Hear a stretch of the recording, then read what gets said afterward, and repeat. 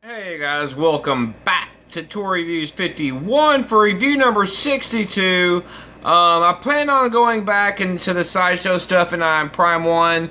I'm going to on the next few episodes, um, but last one, for a while, um, we have the WWE Championship Statue Series. This is the Shawn Michaels. This is the newest release, or the second newest. There's a Bret Hart out.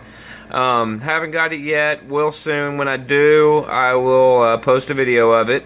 Um, so this thing weighs 8.4 pounds, about 8.5 pounds. It's number 161 of 500 manufactured uh, through WWE. Um, so I'm really happy they're putting out these nice statues I mentioned before.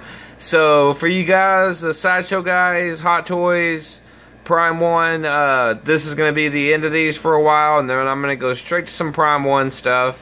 Some really cool shit. So for review number 62, let's go ahead and take a look at this WWE uh, Shawn Michaels Championship Statue Series. It's number 161 of 500. Let's take a look at the art box. Okay, so just cracked it out of the shipping container, and here is the front of the box. Uh, has Shawn Michaels with his uh, one of his famous poses. Uh, of course, the winged eagle belt right there. As the base on the side, this has the Shawn Michaels logo with the heart. Uh, the back is championship title collection, starting on March 31st, 96. Basically, he had a Iron Man match with uh, Bret the Hitman Hart, where he won uh, his first ever WWF Heavyweight Championship, WWE, whatever.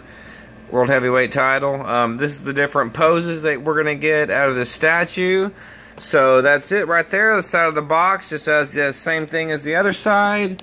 Let's take a, the camera. Let's take a quick look at the bottom and nothing but a barcode. So um, here we have it. Uh, issued in 2016. This was released, I believe, in August. So let's go ahead and crack it open and take a look at the actual statue for the uh, Championship Title Statue Series collection of the Shawn Michaels. Heartbreak Kid. Alright guys, well I just cracked this uh, WWE statue here, uh, high-end statue out of the box, and here we have it. The Shawn Michaels uh, WWE, WWE Championship Title Series statue. Uh, this is the, I believe the third release. I could be wrong. Uh, maybe the second, I think it's the second release. Anyways, here we have it. Um, as you can see, there's they did really good detail, so I'm super surprised WWE, whoever's doing these for WWE, uh, if it's internal or whatnot, they're doing a fantastic job. I mean, the sculpt, everything on here is just dead on. Um, there we have a good look at the face. Which could use a little bit of help, but I mean, you know, he did different, you know, styles through the years. Uh, there's the back, more recognizable from the back really there with the ponytail. Um, on the back there is Trunks, Heartbreak Kid. Uh, the one thing I love about these statues, it has the winged eagle belt with the whole strap going around as the base. Uh, most sideshow stuff is actually hand numbered on the bottom. For some reason, these aren't. Um, but it does come with a certificate of authenticity uh, from WWE. It's just stating that this Shawn Michaels collector edition statue is hand painted, high quality, cold cast porcelain, and it's part of the championship title collection. The statue is approximately at 16 and a half inches tall, 6 inches wide, and the base is 5 and a half inches wide by 6 inches high and 4 and a half deep. And it's just a certificate of authenticity. WWE exclusive statue. Uh, collector's edition. So I'm gonna find a nice holder for that. Got to order them. Um, but uh, here's the side of it here. Well, of course, let's do it up and down from the bottom to the to the top here. Um, as you can see there, there's the, the bottom of the base with his name on it. Uh, move up, and there's a very good uh, replica portrayal of the World Heavyweight Championship, the Winged Eagle belt.